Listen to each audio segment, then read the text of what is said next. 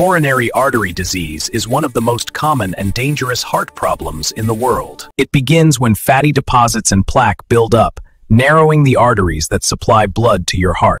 When the artery becomes too narrow, the heart doesn't get enough oxygen-rich blood. Chest pain, shortness of breath, fatigue, and pain spreading to the arm or jaw are common warning.